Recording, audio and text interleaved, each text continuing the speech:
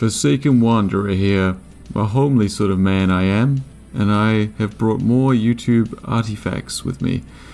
I must warn you, however, that prolonged exposure may cause your mind to crumble like a wet carrot cake. ASMR Girlfriend Simulators.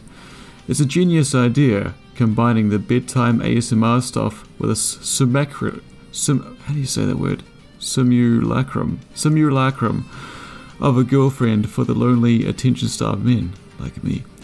So, what do you get in this package? Well, let me give you a little demo.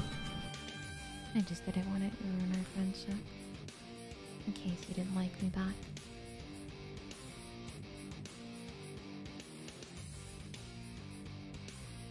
Now that I know you like me too, I guess we should come to an agreement.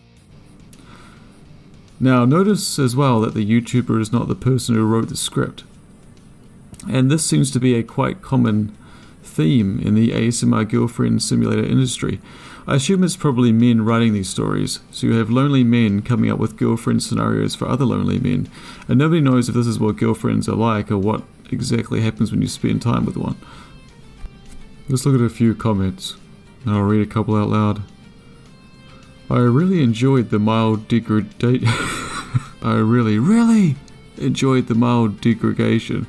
Personally, I'd be thrilled to see more, but this is a great file as always. This one hit way too hard for me. I can't count the amount of times I've cried thinking I'm going to end up alone for the rest of my life. Hope I end up finding someone special like this. And I'm sorry to hear that, Outlaw. This was cute as heck, as usual. Your content always manages to get me all blushy and shaking. And so on.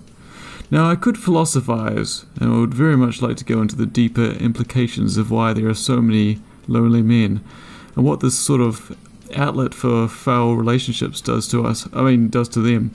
But I, I shall leave that to another time, another video. I just wanted to show you this curioso from the YouTube dig site. Well, have a good one, friends. Stay true and keep out of trouble.